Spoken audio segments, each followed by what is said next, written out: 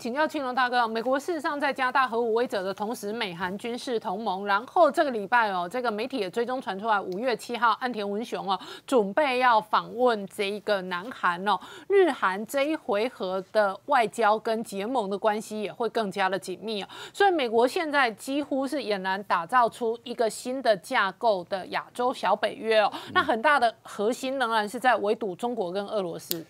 呃，对，我觉得呃，东亚的情势哈，在过去这一年啊，真的变化非常非常的巨大啊。那如果我们要讲出一个时间点的话，当然第一个是因为去年二月的俄乌战争所带动的一个连锁，还有一个不要忽略的哈，是去年八月解放军对台湾搞封岛演习啊。那么所有的变化都从那个时候开始，再加上。韩国跟菲律宾的选举啊，改朝换代，它有国家的路线发生了变化。那么因此呢，我们现在看到从东北亚，从朝鲜半岛到日本，也就是说美韩、美日，然后包括美台的军事合作，包括美国跟菲律宾，还有美国跟澳洲啊，整个从南海、台海、东海、黄海，整个的四海联动啊，现在发生了一连串的一个变化。而当中啊，最核心的，也是最近的、最聚焦的，当然就是您刚提到的。这个东北亚地区啊，那么东北亚我们知道过去啊，美韩美日合作关系都没有问题啊，但是呢，谈到所谓的小北约啊，这里面呢就牵涉到美日韩三国 能不能串接起来，也就是说能不能有一个三国的军事同盟啊？那过去最大的障碍都是日韩之间的问题啊，那么也因此啊，你会看到美日。的联合军事演习，美韩的联合军事演习，而且美韩联合军事演习在文在寅的时候还降级了啊。但是呢，你没有看到美日韩三三方面的，而这一次，这个在美国已经跟韩国谈妥，准备要在韩国进行一个包括核导弹潜艇的部署，还有一个战略轰炸机的一个部署，这个叫海空核威慑啊。那么刚刚前面他们几位都谈过了，这不只是针对北韩，也包括对中国跟俄罗斯了哈。它甚至包括对台湾啊台海情势的一个啊这样的一个一个掌握啊。那么为什么能够做到这一步？为什么短短的不到一年的时间有这么大的变化？就是因为日韩关系发生的变化。那么这当中啊有美国的。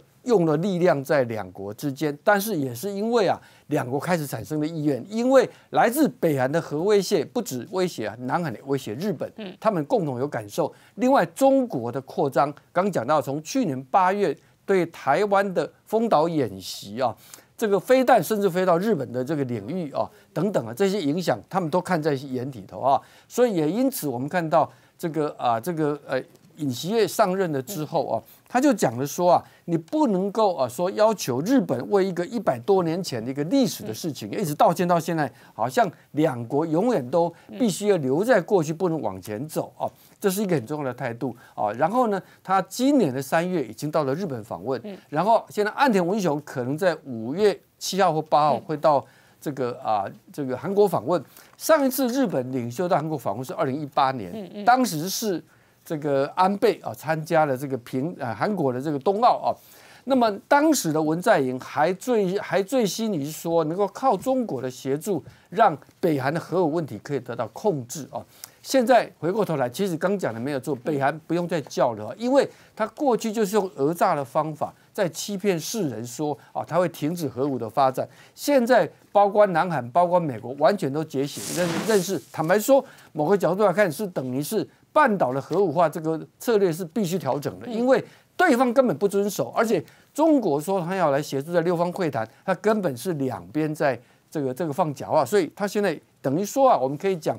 整个亚洲的地区啊，整个所谓的自由体系的联盟是完全的觉醒了过来啊。那么，所以谈到这里啊，就必须提到一点，就是二零二四年一月，明年一月的台湾的大选哈，一定是全世界关注的哈。也就是说啊。当菲律宾跟韩国啊，在一个选举完了之后，整个国家路线的改变，那么让整个亚洲东北亚地区的情势啊，形成了一个这样的连锁效应。现在各国都在关注台湾的二零二四一月的选举会不会发生变化？嗯如果发生变化，就表示说整个在这个这一个所谓的第一岛链当中又出现了一个破口。嗯我想这个可能是包括美国、包括日本，甚至包括韩国。都会关心的事情。好，我们稍后回来。